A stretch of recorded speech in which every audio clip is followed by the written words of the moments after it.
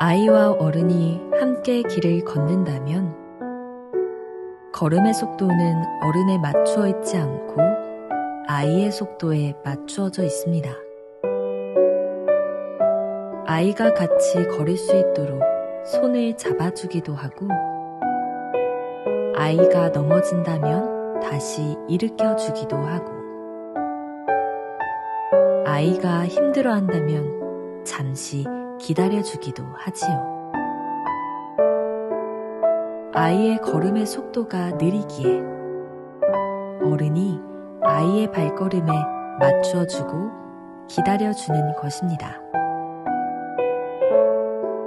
우리의 믿음에도 각자의 속도가 있습니다.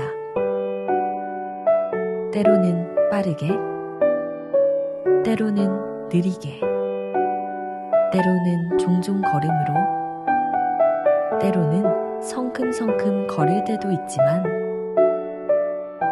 하나님께서는 우리들의 어떠한 걸음에도 속도를 맞추어 주십니다. 또 우리가 힘들어서 잠시 멈출 때에도 넘어져서 걷지 못할 때에도 잠시 멈추어 같이 걸으시는 분이십니다. 우리 주님은 보폭을 맞추어 주시고 기다리시며 당신과 함께하길 원하십니다. 오늘도 내일도 우리 주님과 함께 걸어가시기를 소망합니다.